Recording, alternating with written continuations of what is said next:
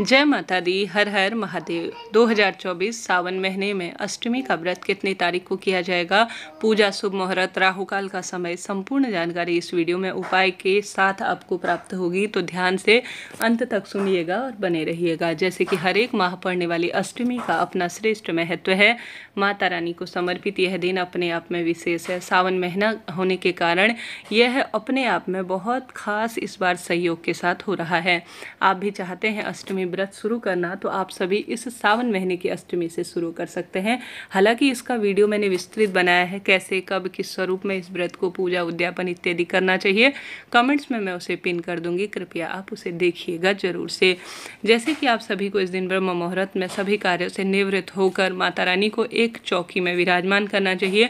सावन का महीना है तो महादेव का भी विधि विधान से पूजन करें। संक्षिप्त अर्थात संयुक्त रूप से पूजन करना शुभ श्रेष्ठ फलों की प्राप्ति में जाना जाता है क्योंकि अर्धांग महादेव के माता रानी ही हैं, शिव शक्ति हैं तो ऐसे में दोनों की संयुक्त स्वरूप में एक साथ पूजा करना शुभ माना जाता है। पूरे दिन भर में अखंड दीप लगा सकते हैं, साथ के साथ कन्या का भोजन करा सकते हैं, माता को इस दिन अनार का भोग लगाना, पुत्र प्राप्ति, वैवाहिक इच्छा को पूर्ण करने वाला, रोग कर्ज मुक्ति से पूर्ण रूप से जो आपके मन में है बात, वह करने वाला होता है। ऐसे में आप सभी को भी इस दिन श्रेष्ठ कार्य करना चाहिए।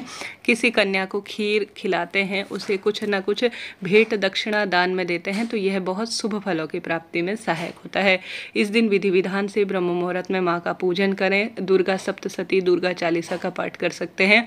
व्रत इत्यादि का संकल्प लेकर विधान से आपसे जितना संभव हो पूजन पाठन करें। पूरे दिन भर में माता रानी के नाम मंत्रों का स्मरण कर कर शाम के समय अपने व्रत उपवास को खोल सकते हैं।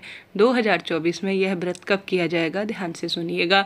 पंचांग में पूर्ण रूप से लिखित है, वर्णित है कि यह जो अष्टमी है, वह 27 जुलाई 2024 को रात्रि में नौ बजकर बीस मिनट पर शुरू होगी और इसकी समापन 28 जुलाई 2024 की रात को सात बजकर सत्ताईस मिनट के आसपास समाप्ति की ओर हो रही है। शुरुआत तो 27 को होगी और समापन 28 को होगा। ऐसे में सनातन धर्म में उदय तिथि मान्य है।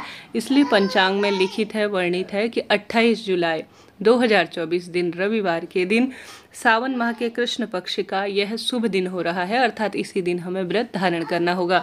28 जुलाई के दिन रविवार का दिन हो रहा है तो सूर्य नारायण भगवान का भी यह दिन हो गया। इस दिन नक्षत्र जो है, सूल और सर्वार्थ सिद्ध हो रहा है, जो कि अपने आप में अद्भुत और विशेष जाना जाता है। सर्वार्थ सिद्ध योग सभी कार्यों के लिए बहुत शुभ और श्रेष्ठ माना जाता है। इसके साथ ही आपके प्रश्न आते हैं कि आप दीदी, हमें साथ साथ राहु काल का भी समय बताया करें ताकि हमारी जो कार्य है वह निर्विघ्न संपन्न हो। राहुकाल ज़्यादा शुभ और श्रेष्ठ समय नहीं जाना जाता, ऐसे में आप सभी थोड़ा ध्यान रखिएगा।